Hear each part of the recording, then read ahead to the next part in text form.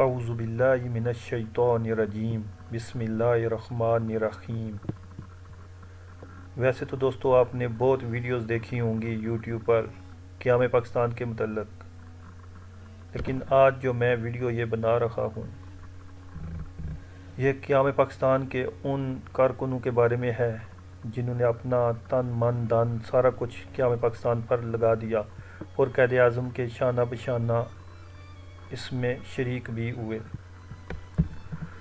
दोस्तों, मैं बात कर रहा हूँ राजा साहब महमूदाबाद की,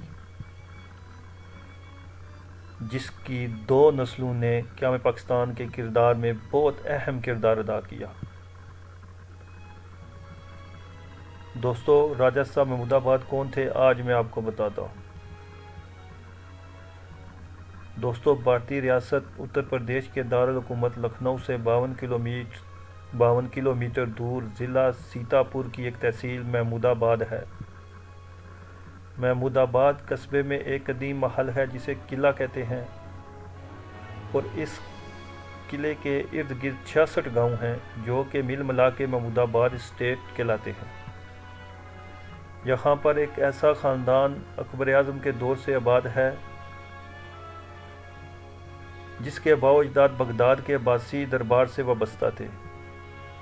और इलाकू खान के हमले के बाद बाद हिंदुस्तान आए। और फिर नस्ल दर नस्ल मोहम्मद तुगलक से जहांगीर तक और फिर रियासत उदा की एडमिनिस्ट्रेशन में और फिर अंग्रेज़ दौर हुकूमत में यूपी के इंतज़ाम में शामिल रहे। इस ख़ानदान को राजा साहब महमूदाबाद कहते हैं। इनके परखों को सदियों पर फैली जंगी खदमात के तौर पर हज़ारों एकड़ ज़मीन मिली। यूँ महमूदाबाद स्टेट का शुमार यूपी की अमीर कबीर जागीरों में होने लगा।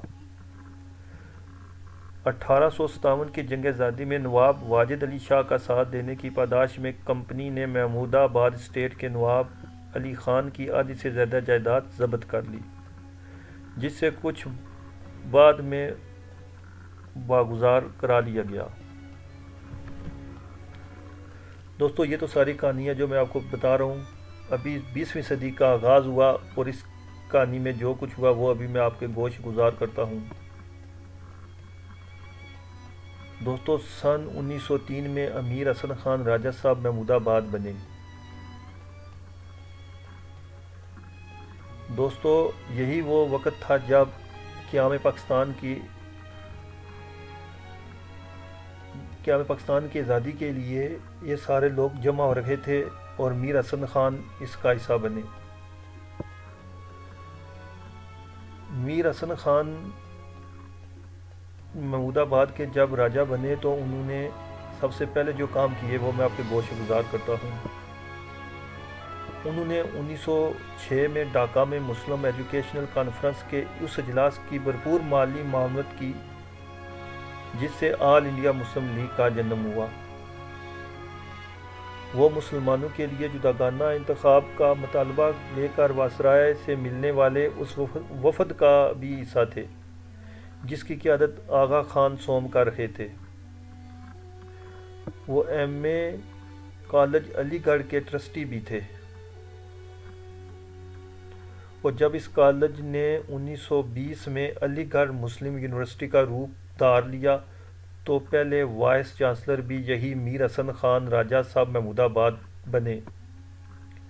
इसी अरसे में वो अपने करीबी दोस्त governor Uttar Pradesh, sir Spencer Harcourt Butler की सूबाई इंतज़ामी कौंसिल में अमूर दाखिला के निगरान रहे।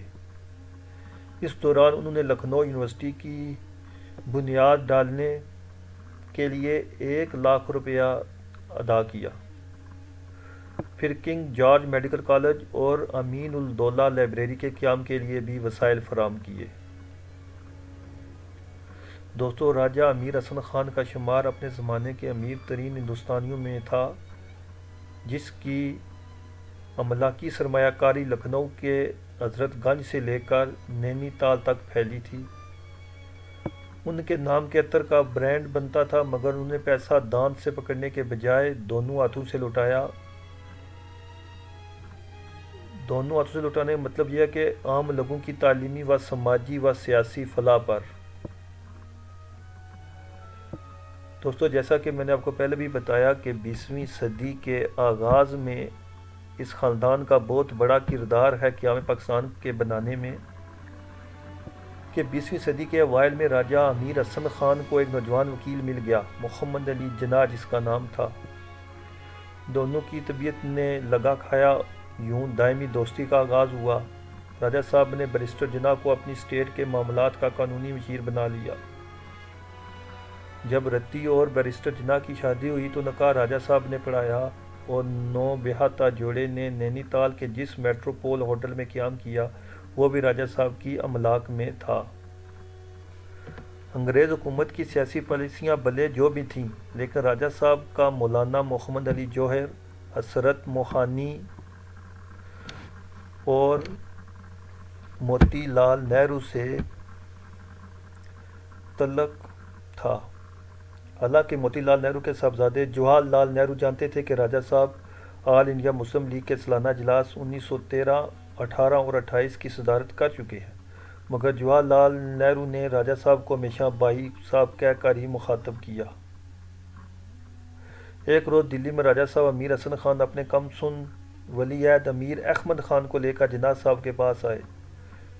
दोस्तों, ये जो कम सुन वलीद अमीर अहमद खान, ये अब दूसरी नस्ल थी जो क्या पाकिस्तान में अपनी खदमात सर अंजाम दे रखी थी।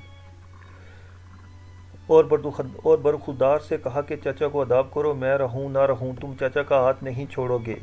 जनाज साहब ने इस बच्चे के कंधे पे हाथ रखा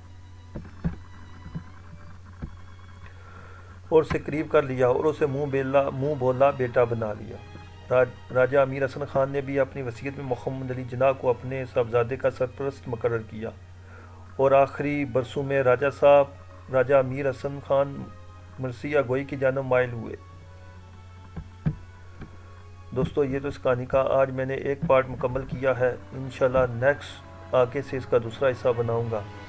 ये कहानी आपने ज़रूर सुननी है। क्योंकि ये पाकिस्तान में लोगों के बनाने का बहुत बड़ा किरदार है।